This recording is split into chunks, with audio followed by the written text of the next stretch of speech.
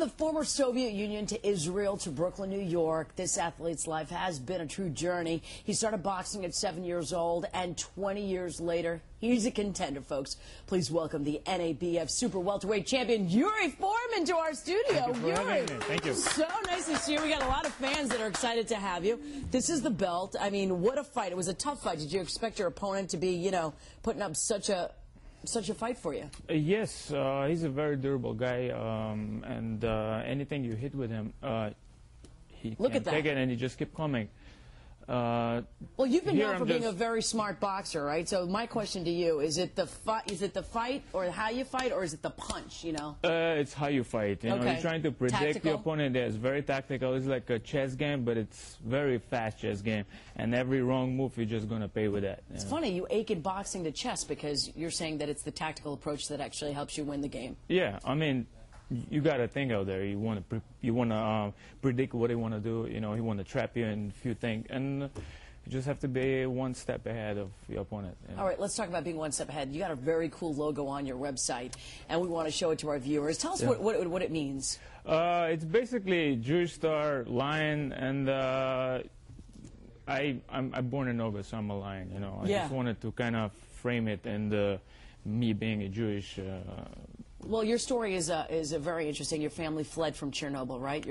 Uh, yeah, uh, not fled from Chernobyl. We actually moved to Israel, but when Chernobyl happened, uh, my parents uh, sent me to a different country for a couple of months. and after two months, they say there's no more radiation, so I came back. And uh, yeah, and later on, we immigrated to Israel. Israel. All right, is it true that when you retire from boxing, I mean, you just, you, but you Uh, want to be a rabbi? Is it true? Yes, it's true. It's uh, not when I retire. I'm actually already in Really? process of doing it, and uh, it's going to take about maybe two, three years, and uh, I might still box while uh, while I'm a rabbi. Are you kidding me? How Uh, do you do no, that I'm transition?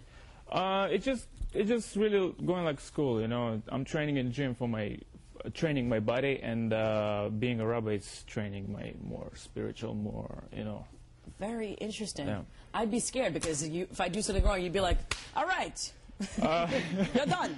yeah, yeah. All right, let's talk about the big fight really quickly. Roy Jones uh, versus Felix. Uh, uh, wh- what do you think? I think uh, Roy Jones uh, probably by stoppage, uh, but that fight would be much more interesting in about seven years ago. You know, All right. And who'd you like to take on next?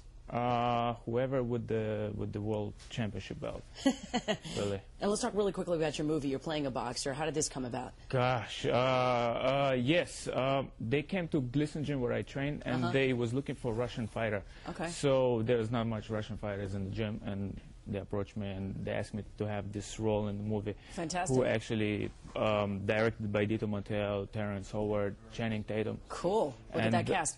Can you do your best Dolph Lundgren impression? Just kidding. I must break you.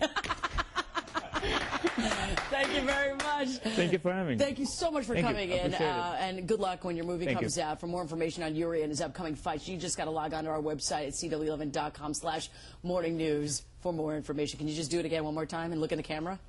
I must break you. We'll be back.